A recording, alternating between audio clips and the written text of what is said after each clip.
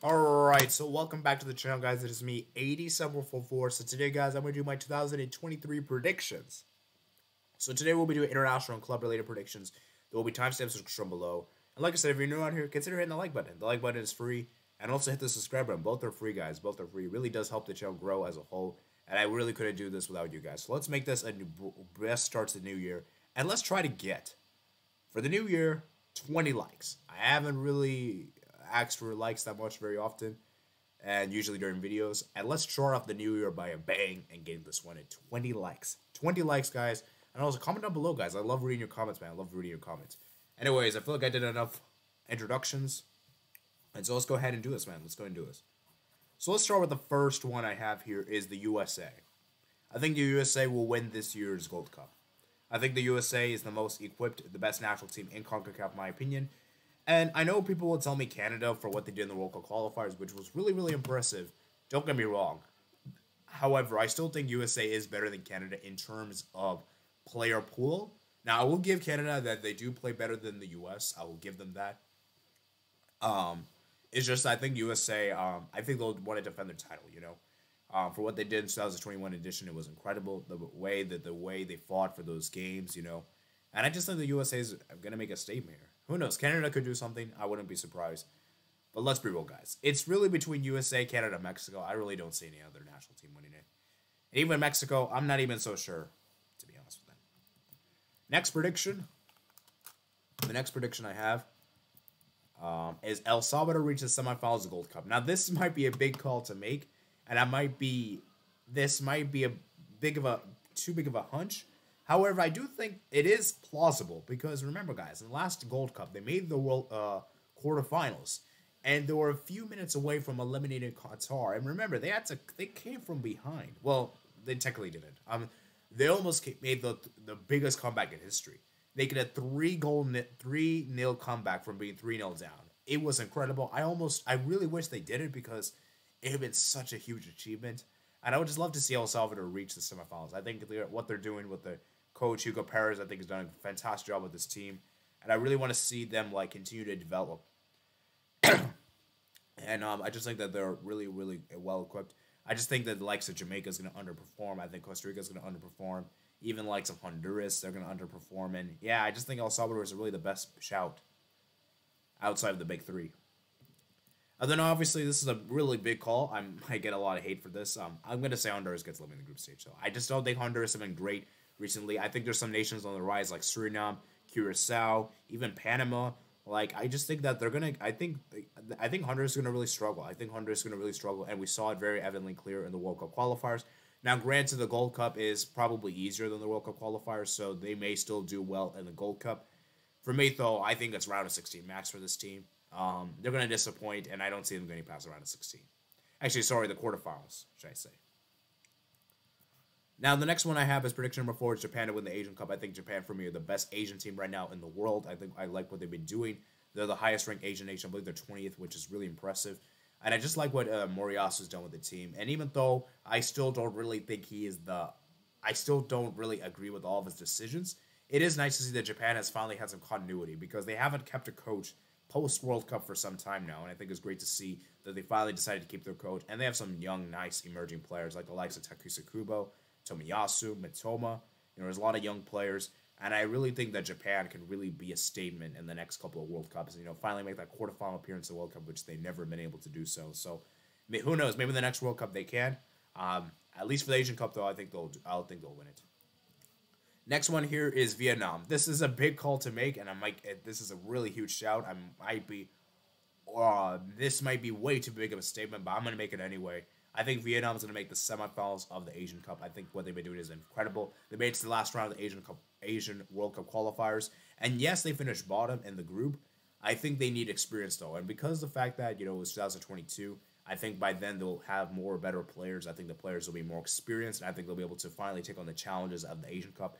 And let's be real, guys, Asian Cup is a lot easier than the World Cup qualifier, so I think they'll be able to do it. Um, you know, and I think they'll make a deep run. Now, semis might be a bit of a stretch. That may not be realistic. At the very least, though, I expect round of 16 though from this team, and um, who knows? Maybe can maybe maybe make the final for what I know. So I think they have a really young squad. I really like what they've been doing, and look for them at World Cup qualifiers, guys. I think this is a team that you cannot write off upon. Next one I have is Qatar. I think Qatar will go to the round of 16. I was not really impressed with Qatar in the World Cup. And yes, traditionally speaking, Qatar do well against Asian teams. However, I think that the pressure, I think the stage and the atmosphere got the better of them. And yes, even though it is the Asian Cup, and yes, they did win in the 2019, I don't think they've been great since then. I really don't think they have, and I just don't really think they'll do it. And plus, they're the host nation as well. That might come with added pressure. And I feel like Qatar will really just flop with so much pressure given upon them, you know? And so I, I, I don't think they'll be as bad as to go out the group stage because let's be real, it's very difficult to go out the group stage because like you have the four best third place teams. So even if Qatar don't do so well, they'll probably still find a way to qualify just because of how good they are. But I don't really expect them to go farther than round of 16. I think round of 16 they're going to be balanced by a top nation, a nation that's better than them, maybe like Japan, Iran, South Korea, Australia, or they lose to an underdog nation like maybe like let's say China, Vietnam, Uzbekistan, Lebanon, Syria. I, I just think Qatar will really struggle in the knockout stage in particular. So yeah, I'm, I'm going to go with them to go out the round of 16. Prediction number seven. So I got some Women's World Cup predictions here. I will try to cover the Women's World Cup. I'll try to watch it as much as I can because I love I love the Women's World Cup. I think it's a fantastic. I really enjoy the 2019 edition. And even though I'm not really a huge, huge fan of women's football, I still do appreciate it. And I'm still gonna watch the World Cup. It's a World Cup of crying loud, you know. You know, whether you're a big fan or not, you still watch it, right? So um, I'm gonna go with the hunch here, and that USA I think is gonna three-peat the Women's World Cup. Obviously, there are other contenders like Japan is up there, Netherlands is up there, England is up there. Who knows? Maybe even Australia because of the host, New Zealand potentially. Um, but yeah, I think USA is going to win. I just think they're too strong in the moment. And yeah, I think USA is going to do it. I think USA is going to do a three-peat, guys. Next prediction I have here is that this is a really bold claim. And uh, this is a really big shock. I think New Zealand will not qualify for the groups. Because, yes, they're the host nation. I just don't think they have enough pedigree. And I feel like um, Norway and Switzerland are just way better than them on paper. And even though Norway Switzerland haven't really been that great themselves in the last couple of tournaments in particular, the Euros and the World Cup consideration. I just think that they're gonna do it. I just think they're gonna do it. Um, and I don't think New Zealand is all that great. I don't think New Zealand's all that impressive. Um, who knows? I could be very wrong with this prediction. Like I said, I'm not the most educated with women's football, so I I may sound like a broken record here. Um, but yeah, I, I, I think they're gonna not perform very well in this World Cup. And then next one I have is Norway to reach the semifinals of the Women's World Cup. I think Norway is a really underrated nation. I think they have some quality players on their team. And um, yeah, I just think Norway's going to do it, guys. I just think Norway's going to reach the semifinals. They're going to be that dark horse. There's always one dark horse, the World Cup, and I'm going to go with Norway personally on this one. Next one is a, this was a pretty obvious one. I don't even need to really explain this one. Prediction number 10 is that Messi's going to win his eighth Ballon d'Or. I mean, I think it's a self explanatory. Do I even need to really explain? I mean, just won the World Cup for crying out loud last year, so yeah, I don't even think I need to explain that. Haaland scored the most goals this year. Another once again another very obvious prediction, you know, of how good he's been for club for Man City, and even look at his international. Like I think um, this Norway team will really fire up in the World Cup qualifiers and even the Euro qualifiers. Remember, guys, Haaland didn't play most of his World Cup qualifiers due to injury, so I think he'll be able to finally hit those goal scoring records, and um, yeah, I think he's going to do it. So I think he's going to score the most goals in 2023. Now we move on to club related predictions. So my first club related prediction I have is AC Milan to lose the Serie A. I think Napoli is going to finally win the Serie A. It's been some time now since they won it. And I just think they're going to win it just because of how good they've been. You know, I, I really like the Khvicha guy. Um, and Giza has been really good. I also really like um, Meret as well, the goalkeeper. And I think then Spalletti's done a great job with this team. Because the problem with other teams like AC Milan in particular is that I think the injury crisis is going to get the better of them. You know, no Maignan for the rest of the season. I think he's pretty much out for the season. And I think Milan has struggled with injuries. You know, Zlatan is injured. You know, Giroud etc. And I just think that um for me Milan's gonna really struggle, and I don't think Milan will be able to be that great. I also feel like Milan might be focusing more on the Champions League since you know they haven't made the Champions League uh, quarterfinals for some time now. So I think that's gonna get the better of them, and yeah, I, I just think Milan's gonna really struggle. And for Inter and Juve, I think they're gonna be up there. I just think they're gonna fall short because I don't think they're that great, good enough to win the league. So yeah, I'm gonna go with Napoli. I'm gonna go with Napoli. They better not let me down. Next prediction I have is Lazio. I think Lazio will get that Europa League spot. I think Lazio have been one of the most impressive teams this season in the uh, Serie A. I think they're one of the most underrated teams. I really like the team that they have. You know, you got Luis Alberto, you have Milinkovic Savic, Ciro Immobile, and I just think that um, Maurizio Sarri is doing a great job with this team because I think this team is a really good team. I think they're going to really punch above their weight, and yeah, I think they're going to do it. I think they're going to get Europa League next season. Um, who knows? They might even get Champions League. One of Inter Milan or Juventus could drop out, although I don't think they will. Uh, but who knows, man? Lazio have been so good and we could see a big surprise, man. We could see a big surprise. Next one is prediction number 14, and this is pretty obvious. PSG is going to win League One. I don't even need to explain this. Monaco will get will not get European football next season. I think Monaco for me has been very inconsistent. They have so many good players on the team, and they're just seemingly underperforming, man. Against teams that they should be beating, like for example, Reims, you should really not be losing to. You know, I think Brest they lost to the few weeks ago. Uh, some other teams, probably the top of my head, I can't remember. And I just think that for me, the only saving grace that Monaco has have is that they're gonna do, they could do well against big teams. Like they could get a result against PSG, but next thing you know, they lose to Reims at home. Like it, it's just like the Spurs thing to do, right?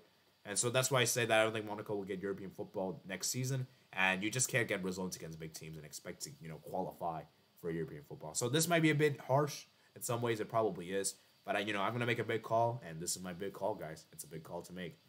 Now, next one prediction right here. This is another big call to make. I think Osasuna will get European football. I think they're one of the most underrated teams in La Liga. They're very difficult to beat at home. They have a solid home record. Defensively, they're so solid, and I just think that they're very difficult to break down. They're very much an underrated team. They don't have a lot of quality players, but they play so well as a unit, and I think Osasuna will get that charge. And I think they're going to make that Europa Conference League spot with Sevilla pretty much underperforming Villarreal, kind of unknown quantity McKillier team. Um, like it's going to be interesting for them to get that European football. So I think they can do it, guys. I think Osasuna will do it. Next prediction I have is right here is prediction number 17. I think Real Madrid will win La Liga. As it pains me to say this as a Barca fan, I just don't trust Barca to win La Liga. And my primary concerns is with the wingers. Like I just feel like for me, Barca wingers this season have been so underwhelming. You look at Ferran Torres in particular, who's really not done much this season. Ansu Fati, who I really had high hopes for, and I think he is a great player. He's just not really looking that great this season. Ousmane Dembele, he's looking brain dead at the moment. I'm sorry, I don't know what Ousmane Dembele is doing.